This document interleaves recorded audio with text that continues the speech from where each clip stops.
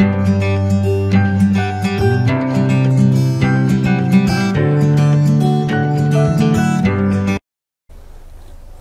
สดีครับท่านผู้ชมครับ คลิปนี้มาพบกันอีกครั้งหนึ่งนะครับสำหรับคลิปนี้จะมาทำขี้วัวหมักน้ำจุลินทรีย์ ก็มีพี่น้องหลายท่านที่มีปัญหาในเรื่องของการต้องการใช้ขี้วัวดวน ต้องการใช้ขี้วัวแห้งที่เราซื้อมาจะเอาไปผสมนู่นผสมนี่ หรือจะไปใส่พืชผัก แล้วก็ถ้าหมักตามกระบวนการจริงๆแล้วเนี่ยหมักด้วยน้ำหรือหมักต่างๆ หมักด้วยวิธีอื่นเนี่ยก็จะใช้เวลานาน ก็จะใช้เวลาประมาณ 2 เดือนนะถ้าเราไปหมักร่วมกับพวกหญ้าพวกอะไรต่างๆใบมงใบไม้ หรือทำเป็นปุ๋ยหมักเนี่ยก็อย่างน้อยก็ 2 เดือน กว่ามันจะย่อยสลายนะสิ่งที่เราไปหมักก่อนมันย่อยสลายก็ประมาณสักสเดือน แต่วันนี้ มีวิธีการที่จะให้ท่านผู้ชมหรือพี่น้องเราได้หมักขี้วัวและใช้ด่วน วันนี้จะหมักด้วยจุลินทรีย์สังเคราะห์แสงท่านผู้ชม จุลินทรีย์สังเคราะห์แสง ก็ไม่มีอะไรมากครับท่านผู้ชมครับก็จุลินทรีย์หนึ่งแก้ว ต่อน้ำ20 ลิตรอ่าในการหมักแบบนี้จะใส่มากกว่านี้ก็ได้ แต่ในหลักการหรือสูตรที่เขากำหนดมาเนี่ยหนึ่งแก้วต่อน้ำ20 ลิตร นะครับ ถ้าเราหมักขี้วัวหรือหมักปุ๋ยเนี่ย จะใช้เป็นขวดก็ได้ท่านผู้ชม เพราะว่าเรายังไม่ได้ไปใช้กับพืชผัก โดยตรงเราเพียงแต่เอามาหมักพี่น้องจะใช้เท่าไหร่ก็ได้ แต่ขั้นต่ำหนึ่งแก้วต่อน้ำ20 ลิตรนะผสมน้ำเสร็จแล้วก็เอามาลดลาดเนี่ยลดลาดในกระสอบเนี่ยวันนี้ผมจะหมักอยู่ 3 กระสอบ เพื่อเตรียมไว้เอาไว้ใช้ไว้ผสมดินปลูกไว้ไปทำนู่นทำนี่นะครับจะหมักอยู่ 3 กระสอบ รดลาดไว้ตรงนี้นะครับทีนี้อัตราในการหมักก็หมักแค่ 7 วัน หมัก 7 วันเอาไปใช้ได้เลยนะครับ แต่ว่าถ้าพี่น้องอยากจะให้ขี้วัวเนี่ยมันย่อยสลายนะเป็นผงเล็กๆนะไม่เป็นก้อนเลย ยุ่ยย่อยสลายดี ก็จะหมักทิ้งไว้ 15 วัน ไว้เดือนหนึ่งไว้ 2 เดือน ก็ไม่เป็นไรนะครับ หมักได้ครับท่านผู้ชม แต่ว่าถ้าเราจะทิ้งไว้นาน ทุกทุกเจ็ดวันเราต้องมาเปิดถุงดู เปิดเพราะว่าเวลาเราหมักตรงเนี้ยลดน้ำหมักไปเรียบร้อยเรียบร้อยเนี่ยลดน้ำหมักไปเรียบร้อยเนี่ยก็จะปิดปากถุง ถ้าเราจะหมักนานๆทุกๆ 7 วันก็มาตรวจดู เปิดปากถุงแล้วก็ตรวจดูว่า ถ้าขี้วัวที่เราหมักในกระสอบเนี่ยมันแห้ง เราก็รดน้ำเพิ่ม หรือเติมน้ำผสม EM เพิ่มลดลาดลงไปนะครับ ท่านผู้ชมจะหมัก 7 วัน ขั้นต่ำใช้ได้จะหมัก 15 วัน 11 เดือน 2 เดือนก็ยิ่งดีครับท่านผู้ชม ประโยชน์ของจุลินทรีย์ที่มาหมักแบบนี้มันช่วยหนึ่งลดกลิ่นเลยลดกลิ่นลดแก๊สนะครับลดกลิ่นลดแก๊สแล้วก็ช่วยให้ อันที่สองก็ช่วยให้ขี้วัวเนี่ยย่อยสลายได้ไวนะย่อยสลายได้ไวอ่าลดความร้อนย่อยสลายได้ไวแล้วก็เวลาเราไปใช้เนี่ยมันก็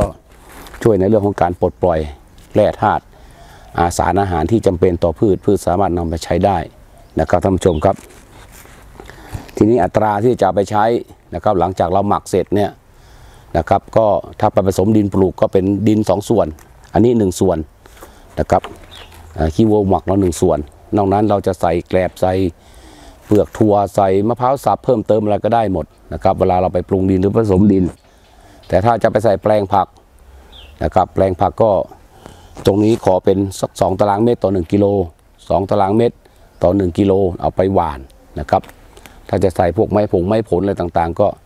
อายุหนึ่งปีก็ 1กิโลก็ใส่ห่างๆนะรอบคนต้น ถ้าเป็นกระถงกระถางอะไรต่างๆ ก็ประมาณ 1กำมือย่อมๆอันนี้ก็อยู่ที่กระถางใหญ่กระถางเล็ก พืชที่เราปลูกปลูกนาน ปลูกไม่นานก็ดูอีกทีหนึ่งพืชน้อยก็ใส่น้อย พืชอายุน้อยก็ใส่น้อย พืชอายุมากก็ใส่มาก นะครับท่านผู้ชมครับอะมาดูวิธีการทำครับ ไม่ยุ่งยากครับท่านผู้ชมทำง่ายๆนะครับทำง่ายๆ สอนวันนี้มาแนะนำแบบง่ายๆเผื่อท่านใดต้องการที่จะใช้ขี้วัวด่วน นี่ผมจะใส่สองแก้วแล้วนะครับท่านผู้ชมครับ นี่เติมไปสองแก้วเลย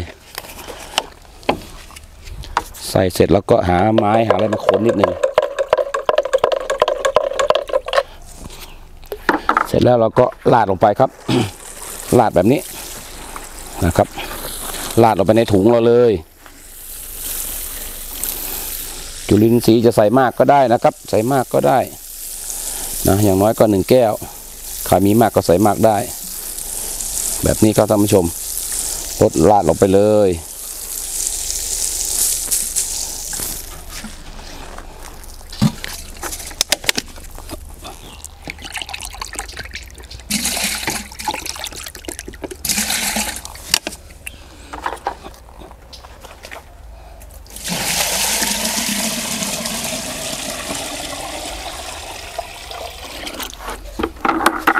ก็ลดลงไปเลยเนาะ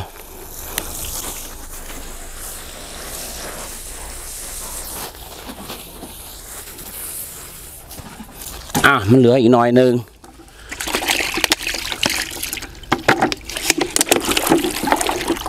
เหลืออีกหน่อยหนึ่งนะครับ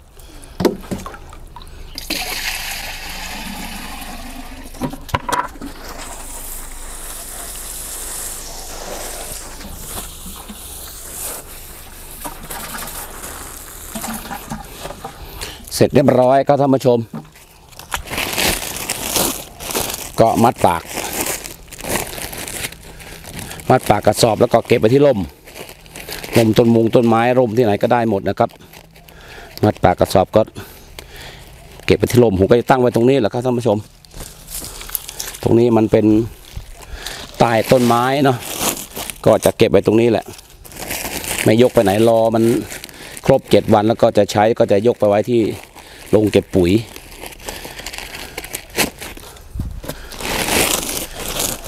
หมักแบบนี้ หมักแบบนี้ต้องเอามาตั้งข้างนอกครับท่านผู้ชม มันเป็นน้ำเนาะมันเป็นน้ำเวลาเราลดไปน้ำมันก็จะซึมผ่านกระสอบ